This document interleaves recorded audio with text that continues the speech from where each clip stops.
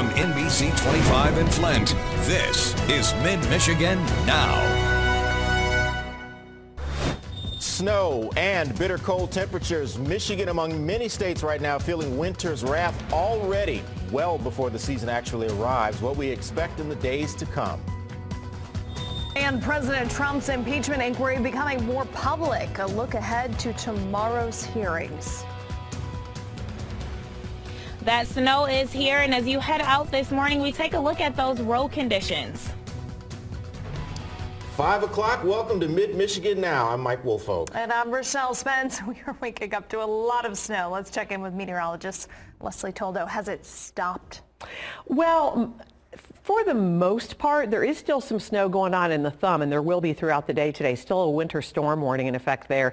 And we do have some light snow still happening, but that should all wind down after about 7 o'clock today. So taking a peek outside right now, our Saginaw Skynet camera, the road's looking a little